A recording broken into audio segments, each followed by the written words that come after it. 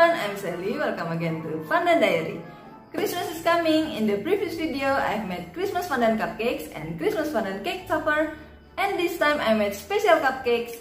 The first time I saw it, I was immediately interested in making it. Before we start, if you like to decorate cakes, consider subscribing Pandan Diary because I will make interesting cake decorating videos. Don't forget to turn on the bell so you will get notification when I upload a new video. Without any further ado, let's get started! This time I made snow globe cupcakes with gelatin bubbles, but I have tried twice before to make gelatin bubbles and it always failed.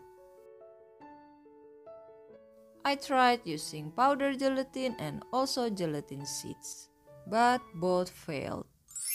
However, there was a bright spot in failure, so I tried again and it worked.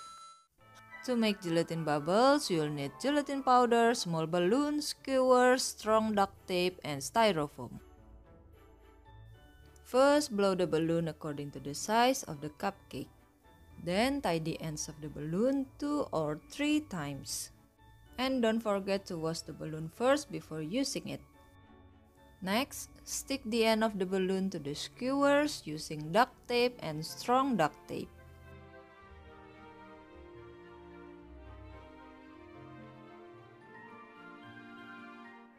And the width of the balloon is about 7 centimeters. Next, wipe with a tissue that is given cooking oil to the entire surface of the balloon.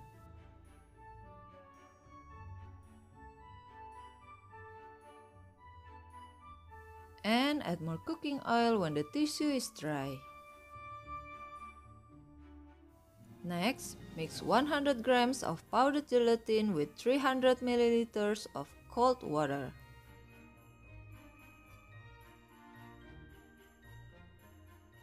And let the gelatin bloom for 10 minutes in room temperature. After that, heat the gelatin on the stove while stirring until it melts, no need to boil. Then remove the tiny bubbles to create clear gelatin bubbles.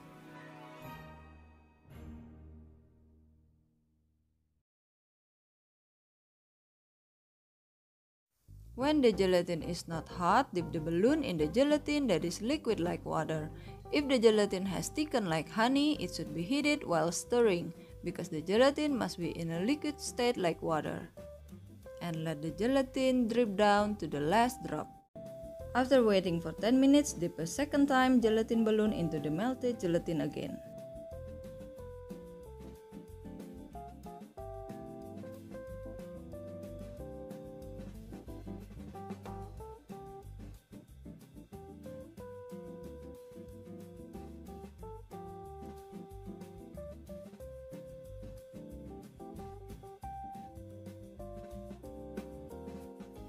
Then dry the gelatin at room temperature for at least 24 hours or until the gelatin has hardened on the balloon.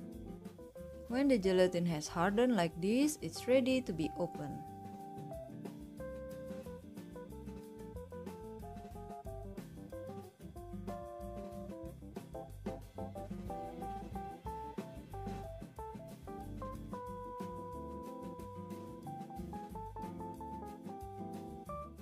Because of the oil, the bubble still looks not clear, so I use a tissue that is given a little water to clean the inside of the bubble and don't water too much. Then dry the bubble again because it is exposed to water, it will soften a little.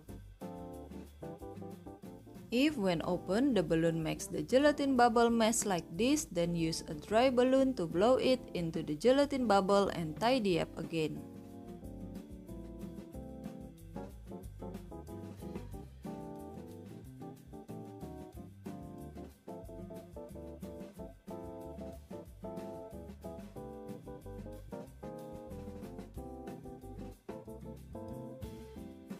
Now it's time to make snow globe cupcakes. And I have made the Christmas cupcake toppers tutorial in this other video.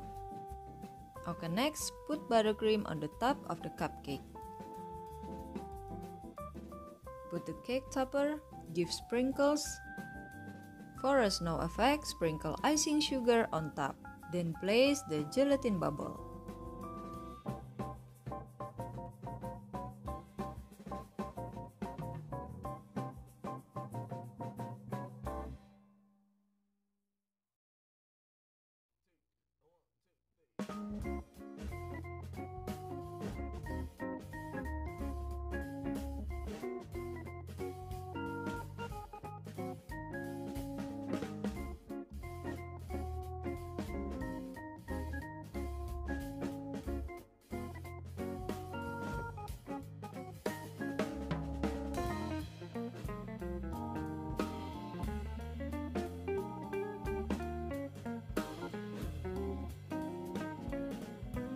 here it is, the Christmas snow globe cupcakes.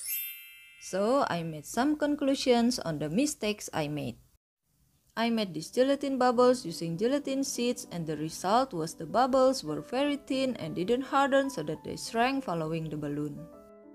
Some bubbles couldn't get out of the balloon because I didn't use enough oil on the balloon. And also some of the bubbles were not perfectly round either because I used gelatin which was starting to thicken. Thank you all for watching. Don't forget to like, comment, and share to your friends.